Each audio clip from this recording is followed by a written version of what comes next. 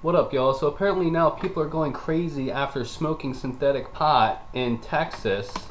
Um, there's a story of a woman who sliced her own throat after eating part of her eight, 18 month old little boy. Um, after smoking some synthetic pot.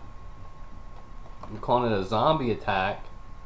Um, and then there's this other case of this guy in Texas. Uh, who broke through a, a screen door window and uh, was cut, like, cut badly, and then he started eating the family dog, tore it apart alive, and started eating it.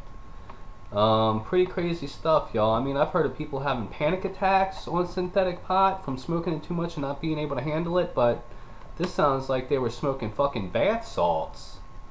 You know? What the hell? Crazy stuff, y'all. Crazy stuff. Link to the news story in the description.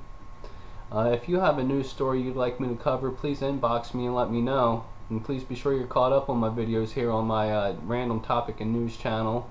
And be sure you subscribe to all my channels and follow me on Twitter, add me on Facebook. All those links in the description. Alright? Peace.